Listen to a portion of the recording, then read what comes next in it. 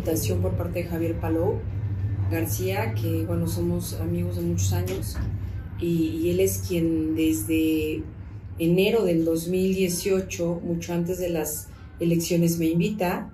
Este, en aquel momento, bueno, pues no estaba en mis planes estar dentro de la administración pública. Y cuando ellos ganan, me vuelve a insistir. Andaba, yo estaba de viaje, no, no estaba en Puebla.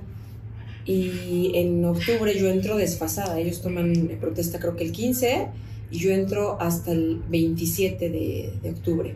Yo como consejera jurídica, eh, mi, situación de trabajo, mi situación laboral, era la, revisión de todos los documentos que ella firmaba. En sí, eh, en muchas ocasiones me negué a firmar muchos documentos porque, bueno, pues yo veía cosas extrañas dentro de todos estos documentos. Entonces, yo llevaba una corresponsabilidad porque tenía yo que rubricar. Entonces, había documentos que yo ya no rubricaba cuando, cuando empezó a, suceder esto, ellos lo que hacían era llevarlo directamente a, a presidencia y me brincaban. Pero aparte, no solamente era el salario, ellos tenían chofer, ellos tenían unidad eh, del ayuntamiento que, lo que los trasladaban, ellos tenían bonos, cosas que yo no tenía. O sea, en mi consejería, digo, y ahí están los, los este, pueden revisarlo con el ayuntamiento, esa consejería no, no manejaba recursos económicos. O sea, no tenía un peso, ¿me entiendes? Si yo necesitaba hojas, tenía que realizar mi escrito directamente a SECAT para poder este, pedir que me, que me surtieran de lo más necesario. Empecé a tener muchos problemas con gobernación, porque gobernación nunca se alineaba a lo que uno pedía. Eh, como el trato era muy directo eh, del titular con la presidenta, eh, siempre me brincaban. Entonces, cuando ya había documentos que, ella pues iban mal redactados y demás, me lo pedí, me decía, oye, ¿por qué no lo revisas? Pues no, pues es que a mí no me llegó, te lo trajeron directo, ¿no? Y ahí empezaron un poco los roces con, con gobernación. Y con ella fue a partir de, el, este, era un multianual que, que firmaron con el gobernador, donde estaban todos los presidentes de la zona metropolitana en materia de seguridad lo, si no me equivoco, lo firman en enero y a mí me pide una opinión jurídica al respecto de la autonomía del municipio con referente al tema de, la, de, seguridad. Y obviamente dentro de esta opinión jurídica que yo emito, pues eh, mi opinión fue a favor no del gobernador, sino eh, confirmando que efectivamente pues el gobierno del estado al ver una situación compleja de seguridad tenía la facultad de poder este, tomar las riendas de la seguridad del municipio. Entonces eso es algo que a ella le molesta. Ella todo lo rebotaba, en algún momento fue Javier, luego Javier lo, lo hizo a un lado y todo lo rebotaba con René Sánchez Galindo, con el otro coordinador y con la doctora Lisa Cebes, ¿no? Eran como los tres que tomaban este, decisiones en conjunto con ella. Fue el 28 de mayo, si no mal recuerdo, eh, del 2020 y ella me pide que, que firme yo mi renuncia porque eh, como consejera jurídica este, pues necesitaba la consejería el carácter de un hombre, ¿no? Y que yo no le daba el ancho como mujer.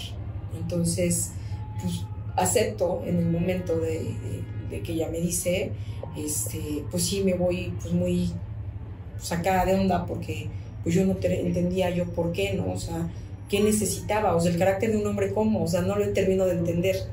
Más cuando eh, hablaban mucho de las puertas violetas y todos este, estos temas que traen ellos de mujeres. Empieza ya el hostigamiento, empieza a, provocar ahí un escosor con los compañeros. Al día siguiente ella misma, bueno, la gente de presidencia me habla, me vuelven a citar y ella me dice, oye, ¿sabes que Ya lo pensé bien, este, vas a tener otro, otro cargo dentro de la administración, quiero que tú lo analices, vas a ser coordinadora de proyectos estratégicos. Y, bueno, no había nada dentro de esa coordinación. O sea, yo nunca tuve una entrega-recepción porque no existía, porque no había nada, porque no me querían dar nada. Y es cuando yo empiezo a recorrer las juntas auxiliares y es cuando me empiezan ya a acosar de manera constante. O sea, yo salía de la oficina, su oficina estaba aquí atrás, en, la 30, en el ex molino de Huachotitla. Yo salía de aquí para cualquiera de las juntas auxiliares y yo ya traía cola. Yo traía un auto, dos autos detrás de mí. Pues llegó el punto en que yo ya me desesperé porque le avisaba, por ejemplo, a Javier y me decía, no, es que no creo, es que te juro, me vienen siguiendo, oye, si me mandas una, una patrulla, me vaya a pasar algo, ¿no? A lo mejor estoy tocando fibras delicadas. Yo pensaba que en las juntas auxiliares, no, nunca pensé que era dentro de la misma administración a la cual yo pertenecía. Eso es una realidad. Yo me doy cuenta porque eh, mi particular en aquel entonces siempre era como que de las que estaba siempre a las vivas, ¿no? Oye, Lick, nos vienen siguiendo. No, ¿cómo nos van a venir siguiendo? Te juro, Lick, que nos vienen siguiendo. En una de tantas, llegamos a comer y, nos dimos cuenta de que efectivamente nos iban siguiendo, ¿no? Tomaron, eh, lograron tomar fotografías del vehículo. hay un WhatsApp que yo presenté en Fiscalía, bueno, sí en Fiscalía, también en, en su electoral del Estado, donde el secretario de aquel entonces de SECAT, yo le pregunto con el número de, placa si la unidad pertenecía al ayuntamiento. Cuando yo ya había subido el tuit, ¿eh?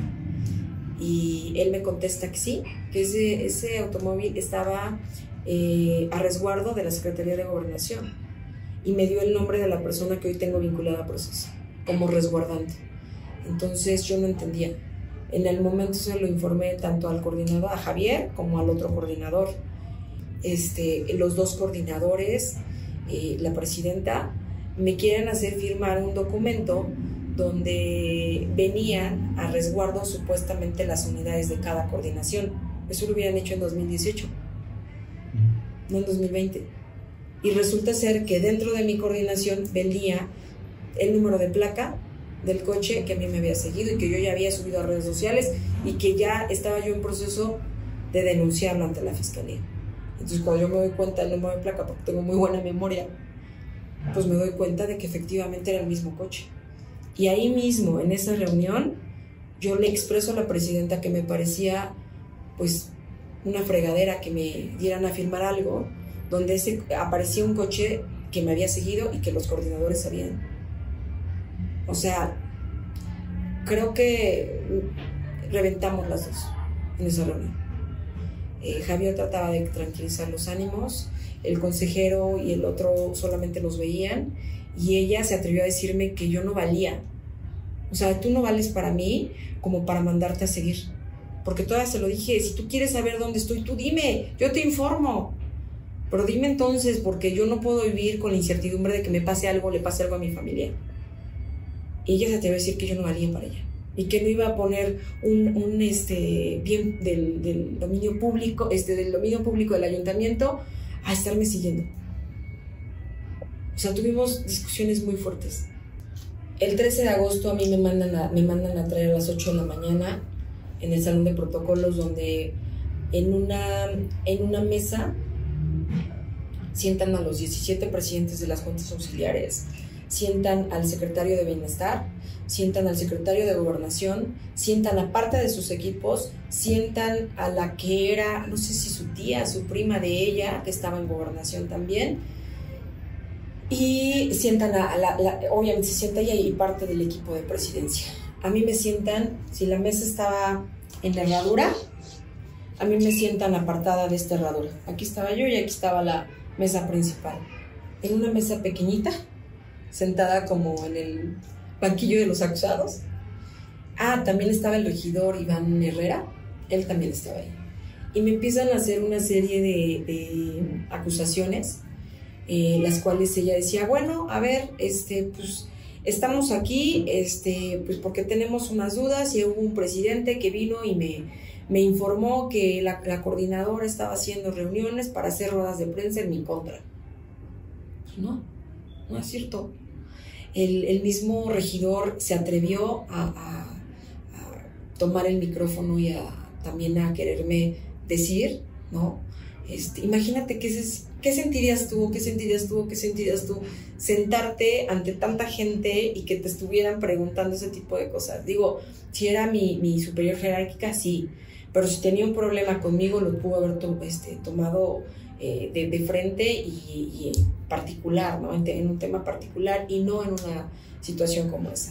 Obviamente le tomé el micrófono eh, fue de las últimas veces que la vi a ella, creo que fue la última, fue el último día que la vi. Tomé el micrófono y le dije, Presidenta, yo vine a trabajar, yo vine a una mesa de trabajo, no vine a un show. Este, creo que tu equipo te miente y tan te miente que no ha sido así. No voy a, ponerme a contrapuntearme con mis compañeros presidentes. Ellos saben lo que he realizado. Esa carpeta que tú tienes y yo te la di. Y pues bueno, yo te agradezco tu trabajo, pero yo no estoy para esto. Cuando yo me levanto, los presidentes se levantan y empiezan a aplaudir. Y ella se pone como loca. Y, siéntate y no te vas y no sé qué. Y pues obviamente yo me salí del salón de protocolos. Este, todavía me hablaron por teléfono que le regresara. Este, pues de la otra, cállense, cállense, ¿no? Porque seguían aplaudiendo. Y, y, bueno, pues todo eso quedó grabado. Toda esa información está obra dentro de las carpetas de investigación de, tanto de la Fiscalía como en la queja que yo presenté ante el Instituto Electoral del Estado. Ella misma proporciona el video de todo esto que te dije. Y ese mismo día en la tarde me manda a traer nuevamente a una reunión con la gente de la Central de Abasto, donde estaba Beatriz Martínez eh, y Gustavo Ariza. Este, cuando ella le toca llegar a mi lugar para, para saludarme, en lugar de saludarme me, dan un, me da un empujón. Obviamente, pues todos los que estaban presentes se dieron cuenta. Ese fue el último momento en que yo la vi. Eh, yo después me accidento, mando mi incapacidad del Seguro Social y cuando yo me quiero presentar ya no me permiten el acceso. En sí, el mismo día que yo me accidento, curiosamente aparecen actas administrativas hechas por el consejero jurídico que me ataca en redes sociales, eh, diciendo que yo me negué a firmar cuando yo estaba en una incapacidad. A mí me habían chocado, traía yo collarín. O sea, todo eso era falso. Eh, tuve que meter una, eh, mi, queja ante la Comisión de Derechos Humanos del Estado y ellos me dan medidas cautelares y ellos, por medio de la comisión, es como yo puedo sacar mis, pertenencias de esa oficina seis, siete meses después. En septiembre, eso fue en agosto, yo denuncio en septiembre. Cabe mencionar que las tres carpetas de investigación, bueno, las dos carpetas y la queja, porque el ministro electoral es queja, es lo mismo, obra lo mismo, en diferentes términos, porque pues una es materia electoral y otra es materia penal, pero obra absolutamente lo mismo. Eh, obviamente el ministro electoral del Estado empiezan, me toman la queja, empiezan a, a realizar las, las indagatorias, la investigación que le corresponde al Instituto Electoral del Estado. Me perdieron la carpeta de investigación, bueno, la, sí, el número de expediente, no te miento, como seis, siete veces. Bueno, a mi abogado, a mi abogado en aquel entonces, un día llegó a, recibir una notificación al Instituto Electoral del Estado y le robaron la camioneta. Camioneta que no ha sido encontrada, con todos los documentos. Y en el caso de la fiscalía, pues imagínate, tardó dos años, un mes, en poder vincular una de, las denuncias, que fue la de acoso ¿no? y hostigamiento, que es donde tenemos vinculada a la persona, a esta mujer este, que trabajaba dentro de la Secretaría de Gobernación. Eh, la vincula el juez de control López Criollo la vincula el 14 de octubre del año pasado. O sea, había pasado dos años de mi denuncia en fiscalía, dos años y un mes para que pudiésemos lograr esto, porque aparte de todo teníamos que seguir presentando pruebas para que el mismo Ministerio Público pudiese encuadrar el delito y poder judicializarla. Y en la otra carpeta de discriminación tuvimos también, tenemos un gran rezago, es una Ministerio Público, mujer, Marisela, no recuerdo su apellido, pero que lamentablemente, así como nos hicieron perdediza la, la carpeta en el instituto, esta ha sido perdediza no sé cuántas veces.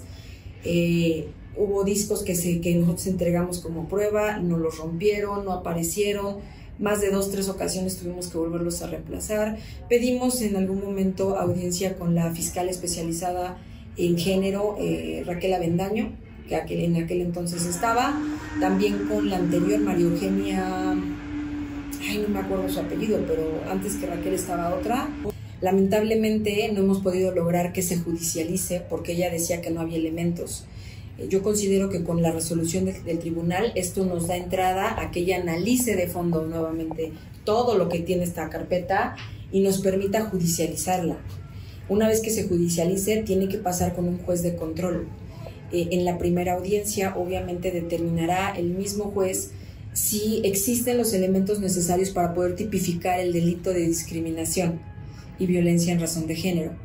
Yo tengo confianza, que vuelvo a repetirte, que con la sentencia del tribunal eso nos alcance para que el juez, con su razonamiento, nos dé la, valga la redundancia, pues la razón, ¿no?